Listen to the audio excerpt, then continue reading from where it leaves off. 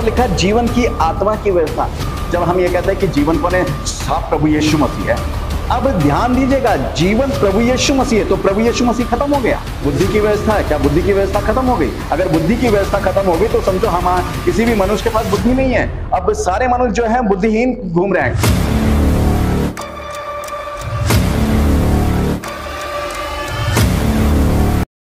प्रभु यीशु मसीह के मधुर नाम में आप सबको जय मसीह की। प्रभु, आप सबको बताए से आशीष दे, आमीन। हम बात कर रहे हैं प्रकाशित वाक्य की पुस्तक के बारे में। प्रकाशित वाक्य के इस श्रृंखला में आप सबका स्वागत है। प्रकाशित वाक्य के सात खंड है, जिसमें से हम दूसरे खंड की बात कर रहे हैं, सात कलिसियाओं के नाम पत्र हम सीख रहे हैं प्रकाशित वाक्य एक अध्याय, उसके दसवें पद के बारे में। जी हाँ हम दसवें पद के बारे में पहले हम इस पद को पढ़ लेते हैं। यहाँ लिखा है, मैं प्रभु के दिन आत्मा में आ गया और अपने पीछे तुर्री का सा बड़ा शब्द ये कहते सुना है। जी हाँ हम बात कर रहे हैं प्रभु के दिन के बारे में। और प्रभु के दिन के बारे में हमने सात जो है, भाग तैयार करे हैं। और वो सात भाग इस प्रकार से हैं। पहला भाग है, प्रभु का दिन कौन सा है? दूसरा है, क्या व्यवस्था खत्म हो गई? तीसरा है, व्यवस्था कितनी है? चौथा है, परमेश्वर की व्यवस्था कौन सी है? पांचवा है, दस आज्ञाओं की विशेषता। छठा है, दो आज्ञाएँ परमेश्वर की व्यवस्था का आधार है। सातवां है चौथी आज्ञा की विशेषता। ठीक है? ये सात जो भाग है प्रभु के दिन के विषय में हमने बनाए हैं और जिसमें से हम दो भा, भागों के बारे में बात कर चुके हैं। पहला प्रभु का दिन कौन सा है? और दूसरा क्या व्यवस्था खत्म हो गई? आज हम सीखेंगे व्यवस्था कितनी है। जी हाँ आज हम सीखेंगे कि व्यवस्था जो है कितनी है। अगर आप उत्पत्ति से लेकर प्रकाशित वाक्य तक की पुस्तक को पढ़ेंगे, पूरा पुराने नियम को भी और नए नियम को भी आप पढ़ेंगे तो वहाँ पर दो व्यवस्थाओं के बारे में बहुत चर्चा है। एक है परमेश्वर की व्यवस्था और एक है मूसा की व्यवस्था के बारे में। इन दो व्यवस्थाओं के बारे में बहुत है। परंतु हम सीखेंगे और कितनी व्यवस्थाएँ, इनके अलावा और कितनी व्यवस्थाएँ हैं और कौन कौन सी व्यवस्थाएँ हैं। देखिए, पिछले संदेश में हमने सीखा कि प्रभु यीशु मसीह ने व्यवस्था खत्म नहीं करी, बल्कि विधियाँ खत्म करी। परंतु आज के इस संदेश में हम सीखेंगे कि व्यवस्थाएँ कितनी हैं और कौन कौन सी व्यवस्थाएँ खत्म हो चुकी हैं। जी हाँ हम परमेश्वर के वचन में पढ़ेंगे, जब आप पढ़ेंगे जब परमेश्वर की व्यवस्था के बारे में पढ़ेंगे तो नए नियम से मैं बताना चाहता हूँ, खासतौर से बहुत से लोग नए नियम से जानने की कोशिश करते हैं। रोमियो सात उसका बाईस अध्याय बाईस पद और पच्चीस पद।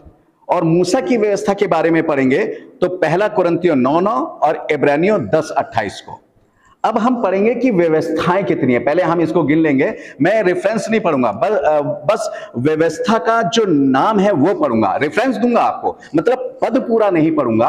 आपको रेफरेंस दूँगा और उसमें मैं आपको ये बताऊँगा कि वहाँ पर कौन सी व्यवस्था है। आप नोट करते रहिएगा।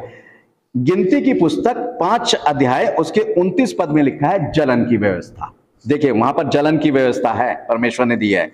यहुशु आठ अध्याय उसके चौतीस पद में लिखा है यहाँ पर दो प्रकार की व्यवस्था। पहली आशीष की व्यवस्था और दूसरी है शाप की व्यवस्था।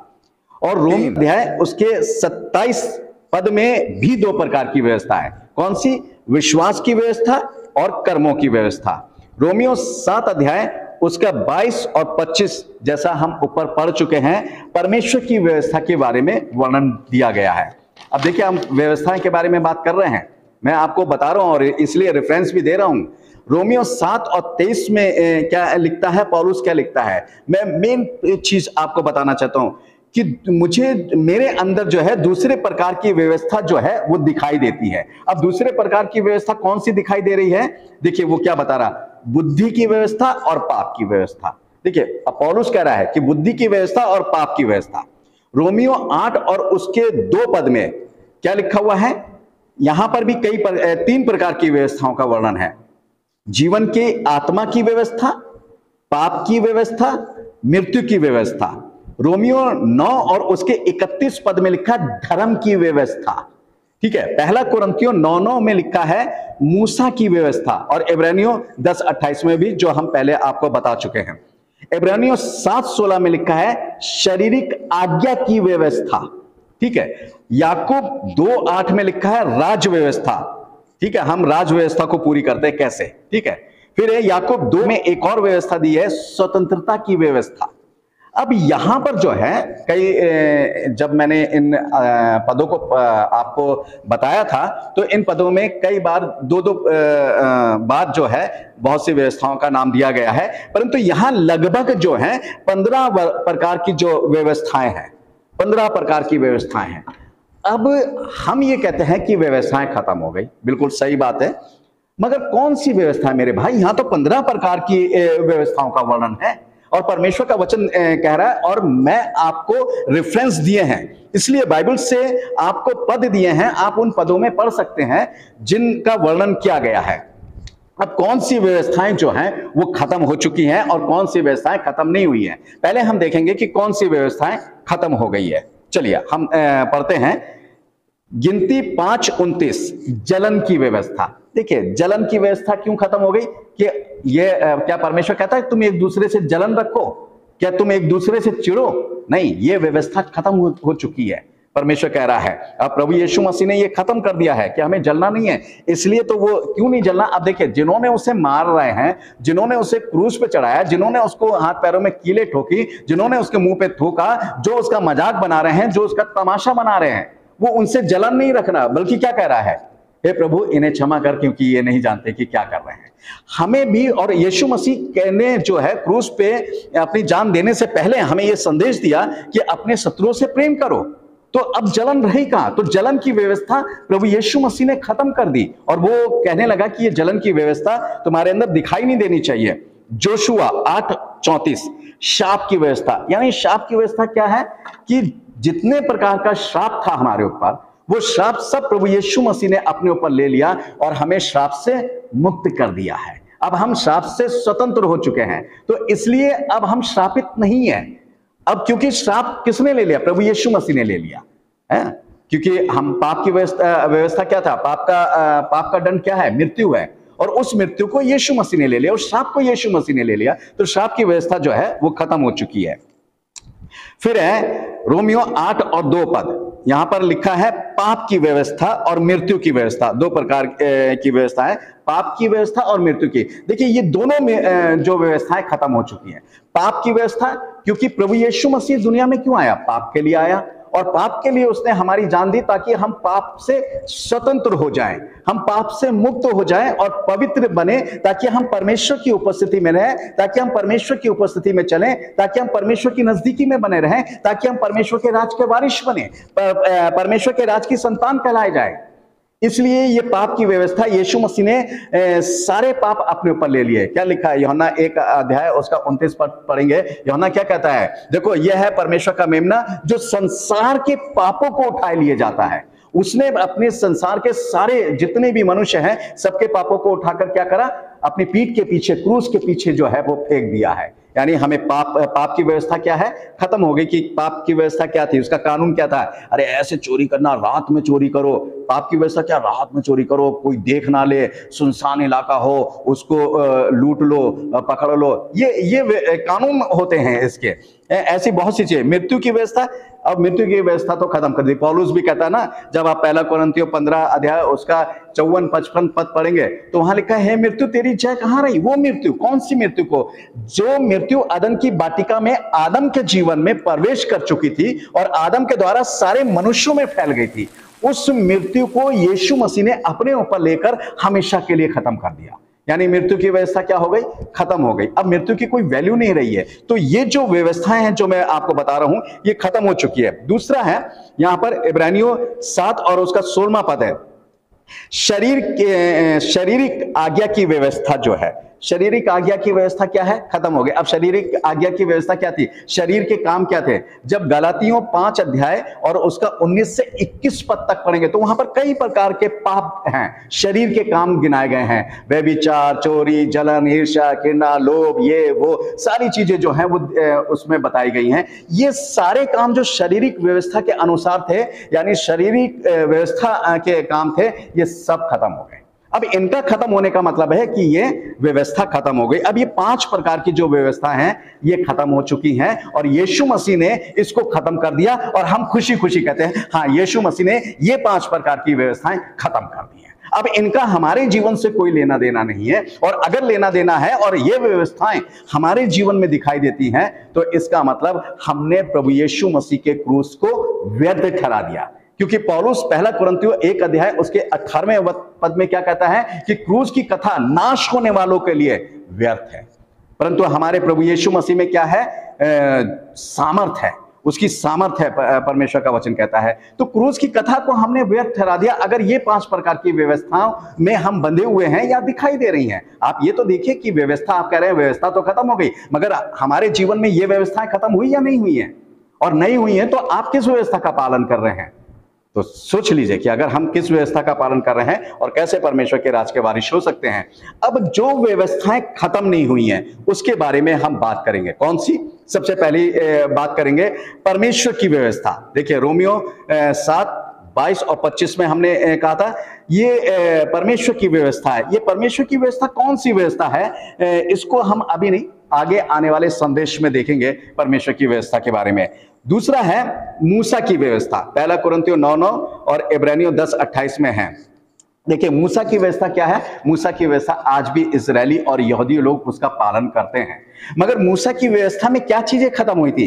देखिए, हमने बात करी थी पिछले संदेश में बात करा था कि मूसा की व्यवस्था में प्रभु यीशु मसीह ने जो विधियाँ थी, विधियों में जो बलिदान हुआ करते थे, वो खत्म हो गई, वो विधियाँ खत्म हो गई। प्रभु यीशु मसीह ने उन विधियों को, उन व्यवस्था को जिसमें बलिदान हुआ करते थे, यीशु मसीह के बलिदान के बाद वो सारी चीज़ें खत्म हो गई हैं।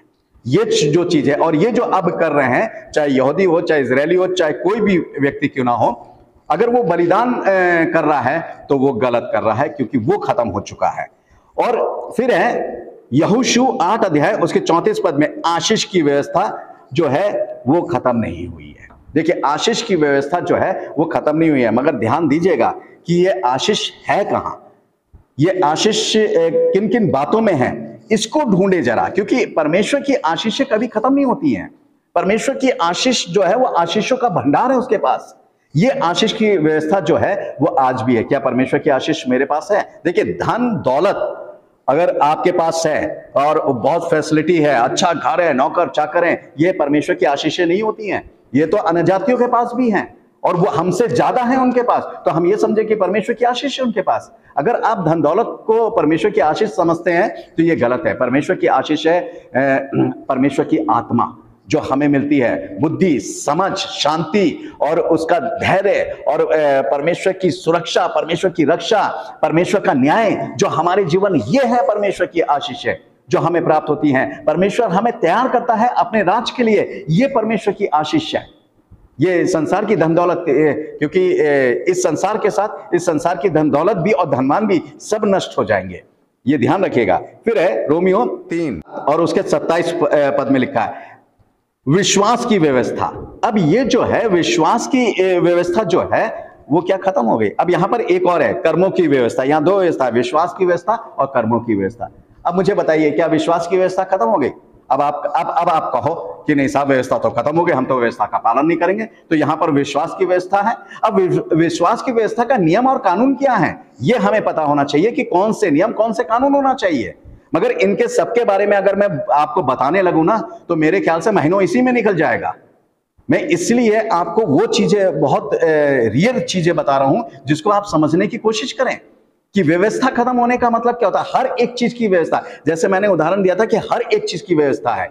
चाहे आपके रोड पे चल रहे हो, चाहे हवाई जहाज़ में चल रहे हो, चाहे ट्रेन में चल रहे हो, चाहे बस में, चाहे साइकिल से चल रहे हो, चाहे कुछ भी कार्य कर रहे हो देश में जहाँ पर भी रह रहे हैं, हर एक चीज़ की व्यवस्था, बिजली की व्यवस्था है पानी की व्यवस्था जो आपके घर में आता है, सरकारी टंकी की व्यवस्था है सरकारी बिजली की व्यवस्था है, आप चोरी करके देख लीजिए, व्यवस्था के अंतर्गत आपको क्या होगा? ना आपको जेल हो जाए तो कह दीजिएगा। तो हर एक प्रकार की, यहाँ पर भी विश्वास की व्यवस्था, विश्वास की व्यवस्था है क्या? विश्वास है क्या? हमें यही नहीं पता विश्वास क्या, विश्वास की व्यवस्था के प्रभु ने कौन कौन से कानून बनाए कौन कौन से नियम बनाए हैं? ये नहीं पता। मगर कहते हैं, बस व्यवस्था खत्म हो गई। व्यवस्था खत्म होने का मतलब आपने सब कुछ खत्म कर दिया। नहीं, सब कुछ खत्म नहीं हुआ है। अब फिर यहाँ पर है, दूसरी बात है, कर्मों की व्यवस्था। अब कर्मों की व्यवस्था की जब हम बात करते हैं, आप पढ़ेंगे जब सबोपदेशक नौ अध्याय, और उसका दस पद है। मैं यहाँ पढ़ देना चाहता हूँ। सबोपदेशक नौ का दस है, जो काम तुझे मिले उसे अपने शक्ति भर करना क्योंकि अधलोक में जहाँ तू जाने वाला है ना काम ना युक्ति और ना ज्ञान और ना बुद्धि है। अब मुझे एक बात बताइए कि जो काम हमें मिले हैं अब जो काम हमें मिले हैं कौन से काम मिले हैं? अब यहाँ कर्मों की व्यवस्था है, है? हमें कर्म करने हैं हमें काम करने हैं। अब जो काम हमें मिले हैं वो हमें जो है अपनी शक्ति भर पूरे करना है। क्योंकि अधलोक में जहाँ हम जाने वाले हैं ये सब चीज़ें नहीं है। हमें इसी पृथ्वी पर रहकर पूरा करना है। अब कर्मों की व्यवस्था का तो पता ही नहीं है, मगर यहाँ पर क्या है? प्रकाशित वाक्य चौदह का तेरहवा पद पढ़ाना चाहूँगा, जरा ध्यान दीजिएगा। प्रकाशित वाक्य चौदह का तेरह। फिर मैंने स्वर्ग से ये शब्द सुना, लिख, जो मृतक प्रभु में मरते हैं, वे अब से धन्य हैं। आत्मा कहता है हाँ क्योंकि वे अपने सारे परिश्रम से विश्राम पाएँगे और उनके कार्य उनके साथ हो लेते हैं। देखिए, हर एक परमेश्वर का वचन भी कहता है ना प्रकाशित वाक्य बीस अध्याय में, हर एक के उसके कामों के अनुसार उसका प्रतिफल उसको दिया जाएगा। और यहाँ लिखा है कि हमारे काम हमारे साथ हो लेते हैं। इसका मतलब कर्मों की व्यवस्था है, जिसका पालन हमें करना है। परमेश्वर का वचन इस बात को बताता है। अब यहाँ क्या लिखा हुआ है? रोमियो सात और उसका तेईस पद। बुद्धि की व्यवस्था। अब बुद्धि की व्यवस्था क्या है? अब हमें बुद्धि की व्यवस्था है, क्या बुद्धि की व्यवस्था खत्म हो गई? अगर बुद्धि की व्यवस्था खत्म हो गई तो समझो हम किसी भी मनुष्य के पास बुद्धि नहीं है। अब सारे मनुष्य जो है, बुद्धिहीन घूम रहे हैं, साहब, व्यवस्था तो खत्म हो गई, अब बुद्धि की व्यवस्था तो है नहीं, बुद्धि की व्यवस्था तो खत्म हो गई, प्रभु यीशु मसीह ने क्रूज पे खत्म कर दी। अब इसका मतलब क्या है? हम जो है, मूर्ख लोगों को इस पृथ्वी पर घूम रहे हैं, क्योंकि बुद्धि तो है ही नहीं किसी के पास। और सही बात है, परमेश्वर की बुद्धि का होना ही जो होता है, बुद्धिमान होता है। परमेश्वर का भय मानना बुद्धि का आराम है। परमेश्वर का वचन कहता है, रोमियो आठ और उसके दो पद में लिखा है, जीवन की आत्मा की व्यवस्था। अब यहाँ पर लिखा है, जीवन की आत्मा की व्यवस्था। क्या है जीवन की आत्मा की व्यवस्था? सबसे पहले यह जाने कि जीवन कौन है। जब हम ये कहते हैं कि जीवन कौन है साफ़ प्रभु यीशु मसीह है। अब ध्यान दीजिएगा, जीवन प्रभु यीशु मसीह है तो प्रभु यीशु मसीह खत्म हो गया। है? या प्रभु यीशु मसीह रहा नहीं? अरे भैया, प्रभु यीशु मसीह आज भी है। जीवन की व्यवस्था का नियम आज भी है। प्रभु यीशु मसीह के नियम और कानून आज भी इस दुनिया में चलते हैं। वो जीवन की आत्मा की जो है, वो व्यवस्था खत्म नहीं हुई और हमारा जीवन जो है प्रभु यीशु मसीह है। क्या दीजिए क्या क्या बोल रहे हैं हम? किसके बारे में बोल रहे हैं? क्या कुछ भी बिना सोचे समझे बोलने लगते हैं? बहुत से लोग बिना सोचे समझे हम पढ़ने लगते हैं। बिना सोचे समझे हम परमेश्वर के वचन को एक्सप्लेन कर लेते हैं। बिना सोचे समझे, पहले उसके बारे में जान लीजिए स्टडी कीजिए। परमेश्वर का वचन क्या कहता है? परमेश्वर ने हर एक को बुद्धि दी है। और जब बुद्धि दी है तो उस बुद्धि और समझ की आत्मा के साथ, जो मैं पहले बता चुका हूँ, कि बुद्धि और समझ की आत्मा के साथ उसको सीखें कि परमेश्वर का वचन क्या कह रहा है? बिना सीखे हम ऐसी बोल देते हैं वो चीज़ गलत है। और बहुत से लोग सीखने के बाद बोल देते हैं जैसे मैंने पिछले संदेशों में कहा था कि साहब, हमने पीएचडी करी है, हमने तो बाइबल को पाँच बार पढ़ लिया है, दस बार पढ़ लिया है, हमने पचास बार पढ़ लिया है, हमने तो थियोलॉजी करी है। अरे भैया आपने थियोलॉजी करी हो या पीएचडी करी हो? अगर आप ये कह रहे हैं कि ये चीज़ें खत्म हो चुकी है तो काय की थियोलॉजी काय की पीएचडी करी हुई है आपने? किस बात में करी है आपने? संसारी क्रिटिसाइज में या परमेश्वर के वचन को क्रिटिसाइज करने के लिए करी है आपने? बिल्कुल सही बात है कि आपने कोई भी बाइबल के अंदर थियोलॉजी नहीं करी पीएचडी नहीं करी, अगर पीएचडी करी होती तो ये बातें नहीं करते कि ये चीज़ें खत्म हो चुकी हैं। इस चीज़ को सीखे, जरा जाने परमेश्वर का वचन क्या कहता है। फिर कहता है, रोमियो नौ के इकतीस में धर्म की व्यवस्था। अब धर्म की व्यवस्था क्या है? धर्म की व्यवस्था खत्म हो गई। अगर धर्म की व्यवस्था खत्म हो गई होती तो यीशु मसीह मती छह अध्याय, उसके तैंतीस पद में ये नहीं कहता कि सबसे पहले उसके धर्म, उसके राज की खोज करो।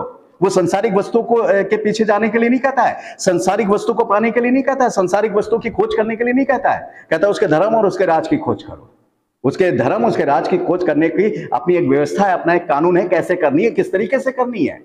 अगर आप नहीं करेंगे तो इसका मतलब आप नहीं कर रहे हैं। उसके धर्म, उसके राज की खोज। कहता है, ये संसारिक वस्तु तो मैं तुम्हें यूँ ही दे दूँगा। सब कुछ है, परमेश्वर का वचन कहता है। फिर है याकूब दो आठ में, राज व्यवस्था को पूरी करते हो कौन सी राज व्यवस्था परमेश्वर के राज की। आप परमेश्वर के राज में हम जाने वाले हैं, परमेश्वर के राज में। भैया, पहले परमेश्वर के राज का जो है, हम किस देश में रहते हैं? हम भारत देश में रहते हैं। भारत देश के कानून हमें पता होना चाहिए कि उसका कानून का उल्लंघन करने से हमें क्या सजा हो सकती है। अब अगर हम किसी दूसरे देश में जा रहे हैं, अमेरिका में जा रहे हैं, इंग्लैंड में जा रहे हैं, कनाडा में जा रहे हैं, कहीं जा रहे हैं तो हमें वहाँ के कानून के बारे में पता होना चाहिए ना। अगर वहाँ के कानून के बारे में नहीं पता है और हमने कोई कानून तोड़ दिया तो सीधे जेल के अंदर। तो भैया परमेश्वर के राज में जाने की खुशी तो प्रकट कर रहे हैं, मगर परमेश्वर के राज के कानून नहीं पता है कि वहाँ पर करना क्या है, वहाँ पर होगा क्या। सब बस परमेश्वर के राज में जा रहे हैं, पहले तो तैयारी कर लीजिए। परमेश्वर के राज में जाने से पहले, पहला कानून है उसकी तैयारी करना। अपनी तैयारी करना है। हम अपने आप को तैयार करें परमेश्वर के राज में जाने के लिए और उसके राज और उसके धर्म की खोज करें पहले, उसको प्राप्त करें। फिर है, याकूब दो के बारह में स्वतंत्रता की व्यवस्था। अब प्रभु यीशु मसीह ने हमारे ऊपर कोई बोझ नहीं डाला है, कोई बंधन नहीं डाला है। हमें स्वतंत्र किया है हर बात में कि हम स्वतंत्र हैं, हम चुनाव भी करें, प्रभु यीशु मसीह का भी अगर हम चुनाव करें तो प्रभु यीशु मसीह ने हमें स्वतंत्रता प्रदान करी है। हमें बुद्धि दी है, समझ दी है उसने। मगर हम क्या करते हैं, इस स्वतंत्रता का नाजायज फ़ायदा उठाते हैं प्रभु की। और क्या लिखा है? मैं यहाँ पद पढ़ाना चाहूँगा। गलतियों पाँच अध्याय, उसका पहला पद पढ़ूँगा, फिर तेरहवा पद पढ़ूँगा। यहाँ लिखा है, मसीह ने स्वतंत्रता के लिए हमें स्वतंत्र किया है। अतः इसी में स्थिर रहो और दास्तों के जुए में फिर ना जुटो। देखिए, यहाँ क्या लिखा है? मसीह ने हमें स्वतंत्रता के लिए स्वतंत्र किया है। दास्तों के जुए में हम ना जुटे। दास्तों के जुए का मतलब यानी पाप के बोझ में फिर ना दबे हम। पाप के दास्तों में, पाप के बोझ में, जिससे यीशु मसीह ने हमें निकाल लिया है। अब हम स्वतंत्र हो चुके हैं उस बोझ से। फिर क्या कहता है तेरहवें पद में इसी के, हे भाइयों, तुम स्वतंत्र होने के लिए बुलाए गए हो, परंतु ऐसा ना हो कि ये स्वतंत्रता शारीरिक कामों के लिए अवसर बने, वरन प्रेम से एक दूसरे के दास बनो। देखिए, हम स्वतंत्र होने के लिए बुलाए गए किस लिए?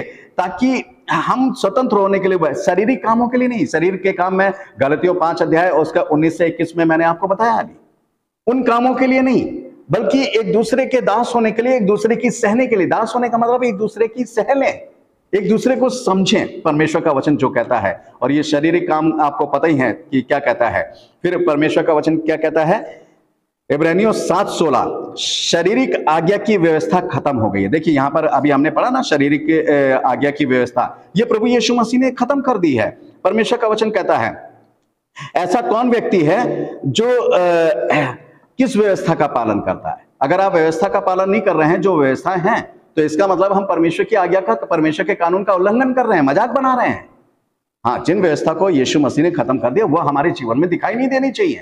परंतु जो व्यवस्था हमारे जीवन में है और जो व्यवस्था हमें दी है, जिसका वर्णन हमने किया है, वो व्यवस्था हमारे जीवन में दिखाई देना चाहिए, उसके कानून, उसके नियम हमारे जीवन में होना चाहिए और उसको वैसे ही पालन करना चाहिए। आइए मेरे प्यारे भाइयों बहनों हम परमेश्वर की जो व्यवस्था खत्म नहीं हुई है, उनका पालन करें और जो खत्म हो चुकी हैं, उनको अपने जीवन में कोई स्थान ना दें। इस वचन के द्वारा प्रभु हम सबको आशीष दें। आमीन।